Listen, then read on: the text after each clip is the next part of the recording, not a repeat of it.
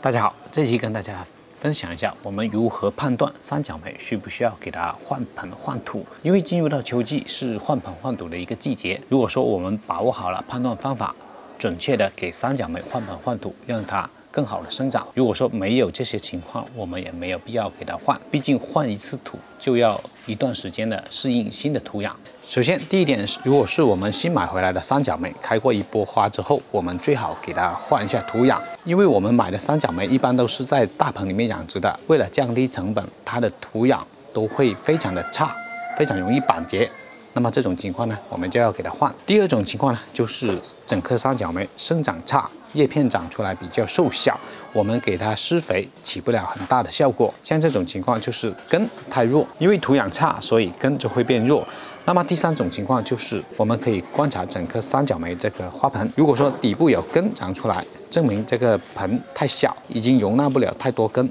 所以就往下长，或者是这个根往上长。那么出现以上这些情况呢，我们都要给三角梅换盆换土。如果说我们不及时换，那么在秋季这段时间呢，就会影响到它的生长，影响到下一年开花。好了，这一期就跟大家分享到这里，我们下期再见。